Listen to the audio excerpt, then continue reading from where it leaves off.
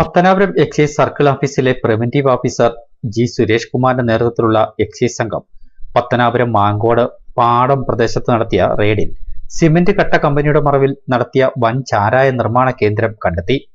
പാടം തെക്കേക്കോണിൽ മുഹമ്മദ് ഇസ്മായിലിന്റെ മകൻ ഷിബു എന്ന് വിളിക്കുന്ന നാൽപ്പത്തിരണ്ടുകാരനായ മഹദൂൻ എന്നയാളെ എക്സൈസ് സംഘം അറസ്റ്റ് ചെയ്തു.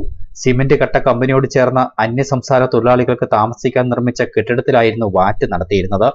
പത്തോളം ബാരലുകളിൽ സൂക്ഷിച്ചിരുന്ന രണ്ടായിരം ലിറ്റർ കോടയും ഇരുപത് ലിറ്റർ ചാരായം ചാരായം വാറ്റാൻ ഗ്യാസ് സിലിണ്ടർ ഗ്യാസ് അടുപ്പ് വാറ്റ് ഉപകരണങ്ങൾ എന്നിവ കണ്ടെത്തി.